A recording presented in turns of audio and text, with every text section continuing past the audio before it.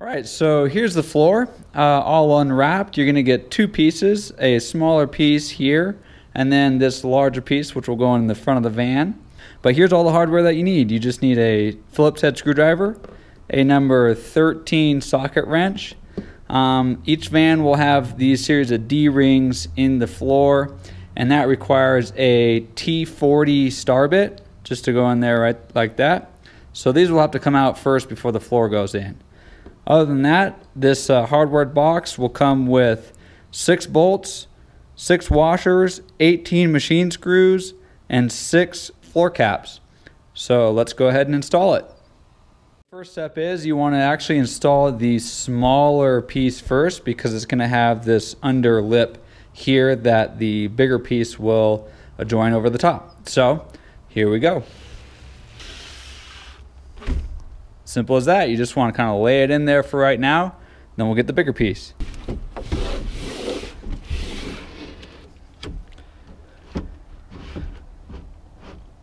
All right, so we got our front piece in now, and uh, what we actually recommend is that you kind of secure the front piece down first and then the back piece. So you're gonna open up your hardware kit here, take out a bolt and a washer, and we just kind of line the these holes up in the floor with the holes in the van. Now this is what you took the D-ring out of earlier. So we're just gonna kind of drop it into place here. Screw it down a little bit. We'll take our socket wrench, tighten it just a bit. Now there's four bolts to this first piece, so we're gonna go around and kind of do the same.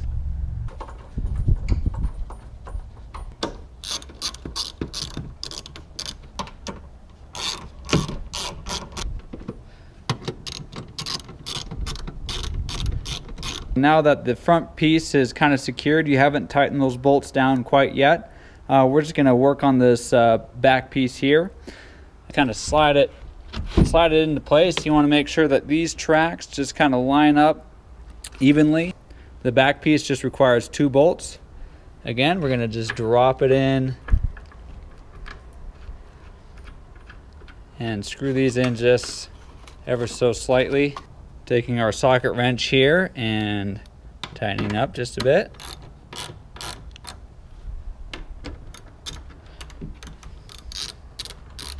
So we have our cargo tracks here and all we're going to do is we're just going to kind of place them in. Uh, you got to make sure that all these holes in the floor or in the channel line up with the cargo track holes. Again, place this guy in there. So what this does is it kind of squares everything up on the floor. Now you can go ahead and kind of bolt down each piece.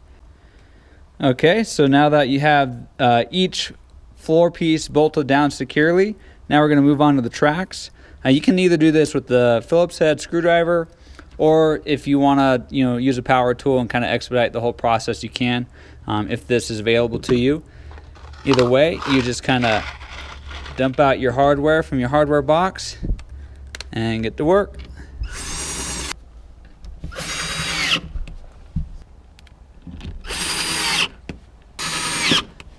And there you have it. Now all there's left to do is just put the floor caps in and then you're done.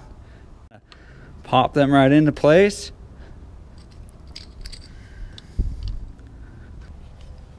And then that's it. Floor is done.